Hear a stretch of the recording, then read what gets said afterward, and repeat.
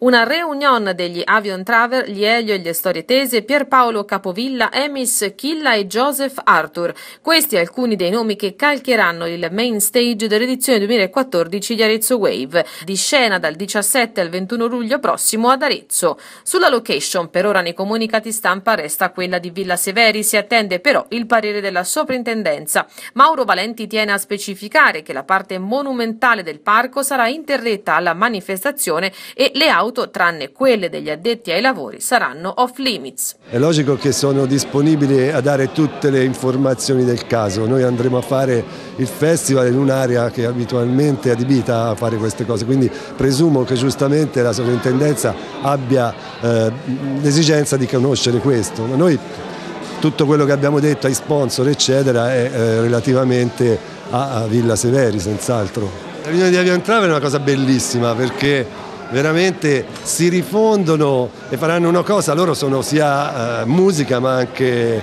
teatro, ma anche una parte della canzone italiana, sicuramente una delle cose più importanti nella storia della canzone italiana. Hanno vinto Sanremo, sono stati con noi a New York, ehm, al Midem Cannes, sono stati al festival più volte. Oggi a me interessava valorizzare l'aspetto diciamo, culturale giovanile dell'evento, oggi eh, Valenti ha presentato appunto il programma del festival che credo sia la cosa più importante. Accanto a questa è evidente che c'è da prendere in assoluta considerazione, questo il sindaco l'ha già detto sabato mattina, la, la, lettera che ci ha inviato la sovrintendenza che vuole conoscere dettagliatamente il progetto del festival e quindi eh, quanto eh, l'evento impatterà sul parco di Villa Severi.